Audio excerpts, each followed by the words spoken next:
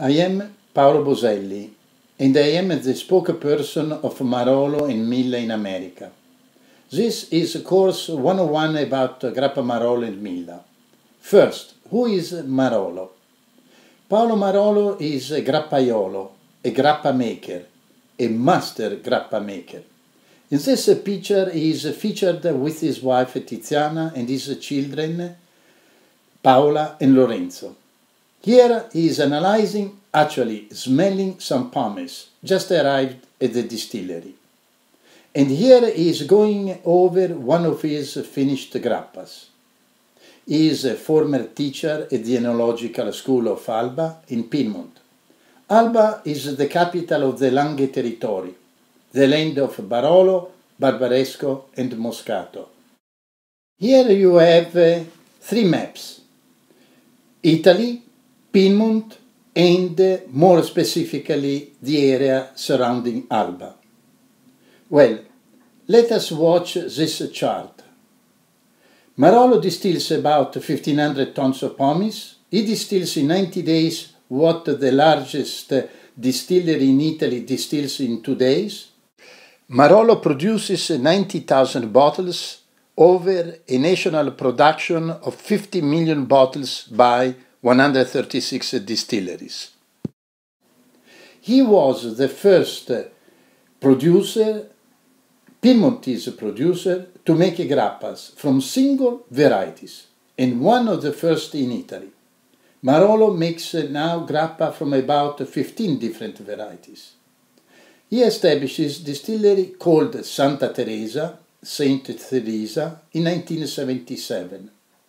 Today, I will introduce to you four different flavors of grappa Marolo and a delicious liqueur called Milla. First of all, what is grappa? Grappa is the Italian legal name given to the distilled spirit obtained through the distillation of the pomace, or marc of pressed grapes, skins, seeds, small quantity of pulp, must, and wine. Let us start showing you the label of Grappa Barolo and of Grappa Brunello di Montalcino. They were designed by Maestro Gianni Gallo. He is featured in these pictures. He was an extraordinary artist who created many memorable labels. Let us go back to the labels of Barolo and Brunello. Barolo is showing a kingfisher in the middle of ears of wheat while Brunello is featuring an iris flower. Now, who are the major suppliers of Barolo and Brunello pomace? This chart features many producers of Barolo and Brunello di Montalcino who supply pomace to the distillery of Marolo. Let us move to Moscato and Moscato Dopo. I think that they are very distinctive, very unique. The bees are attracted by the sweetness of Moscato juice. One brief comment about Grappa Moscato Dopo. This grappa, made with Moscato grapes, is aged five years in French oak 60 gallon barrels. Dopo means afterwards, meaning after. Dopo, after a meal of rich meat dishes. Paolo Marolo created this grappa inspired by the incredible steakhouses visited in America. Now let me go over two charts. 1. The Grappa Marolo flight. This is a crucial chart because it helps to understand how to appreciate the aroma and the flavors of these grappas. You have five circles featuring, starting from the left bottom side corner, Brunello di Montalcino, after that you have Barolo, Moscato, Moscato dopo, and finally Milla. 2. In this chart at the center, we give instructions how to taste grappa. Let us read together these instructions. Follow these steps, keep in mind, particularly to use first your nose. Second, never swirl the glass. Third, put just a touch of grappa on your tongue. Fourth, swallow it. Do not swirl it in your palate. Fifth, never spit. You do not want to offend your taste buds. Well, in order to understand visually how to taste and enjoy grappa and milla, go to the YouTube and search for Grappa Marolo and Milla by Paolo Boselli. Let us talk now about Milla. Paolo Marolo has registered the name Milla, which is made from the last five letters of the word Camo Milla. Paolo Marolo was a kid when he was climbing the kitchen cabinets in the house of his grandma, whose name was Lodovina. The idea was to steal the sweet stuff hidden over there, and one day he discovered this liqueur. For him was very natural when he decided to open the distillery to produce a product that belongs to the tradition of his land, the land of Alba, of Langhe. Let us read these notes about Milla.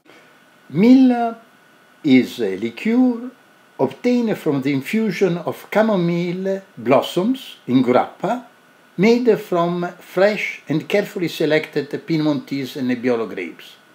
The chamomile flowers are picked when fully mature, dried in the shade, left to steep for 11 months in the grappa, and then filtered. And now I think that I should show you the bottles of the grappas and of Milla. Besides the standard bottles, Marolo makes also fancy bottles. Let us show you the still of uh, Brunello, these two of Barolo, the Barolo Hole and the Barolo Twist, and these two of Milla, the Milla Hole and the Moon. Well, Marolo makes uh, also fantastic aged grappas. In this unit there are four bottles of Barolo, the size of each bottle is of 200 ml, and uh, each one has a different aging, the first 9, the second 12, the third 15, and finally 20 years of aging. Well, beside this unit called 4-4, we sell also the 12 years old in the size of 750 ml in a gift unit and loose bottles. How to enjoy grappa? Let us read these charts. With Brunello and Moscato, I suggest that you enjoy them at room temperature in order to appreciate the delicacy of the flavors, or at freezer temperature and served in frosted liquor glasses to please uh, the summer consumers. By the way, any grappa combines very well with the chocolate, chocolate candies, uh, like the famous Marolo Cuneesi with the chocolate cakes uh, and with the pastry or cakes made with cream and or whipped cream. The aged grappas are excellent complements to chocolate soufflé and to seasoned cheeses. It is a typical after dinner drink instead of desserts, uh, wines or cognacs. And now let us move to a completely different territory. A typical tradition of the alpine populations is a spiked coffee, adding a splash, a few drops of grappa in your espresso to add the flavor and warmth. Rasette equal rinsing. It is the dripping of a touch of grappa in your empty espresso cup just after you finish drinking your coffees. The grappa dilutes the sugar at the bottom of the cup and its taste blends with the leftover of the coffee. Now, let us talk how to enjoy Milla. It can be served at a fresh temperature, and we strongly recommend to enjoy it on the rocks in a tumbler or from the freezer, with a splash of freshly squeezed lemon juice, or Milla affogata in your favorite ice cream, and finally in your favorite cocktail. In America, there are extraordinary bartenders who create very good cocktails and here I feature four of them. You can uh, see them presented one after the other. I would like now to wrap up this 101 course about Grappa, Marolo and Milla with these few statements. Very important in order to appreciate the quality of the Marolo grappas and of Milla. The essence of grappa. To produce grappa means not only to get alcohol, but to create a product that carries to the palate the characteristics of the identity of the grappa varieties used. Imperfect but good. The goal of any grappaiolo is to obtain an imperfect product, but imperfect to the point of being good.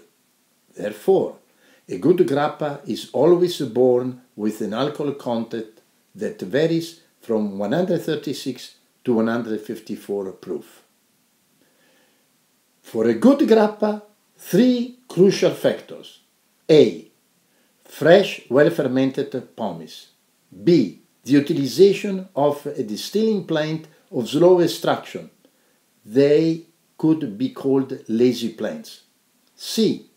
Lastly, the hand of the master grappa maker, il maestro grappaiolo. And finally, the Marolo's mission statement. Since 1977, the mission statement of Marolo has been the following. Grappa is a modern spirit which, while preserving its originality, is distinctive. It has an identity because each variety has a flavor. B. Smooth, and therefore with an international appeal. Thank you very much for listening.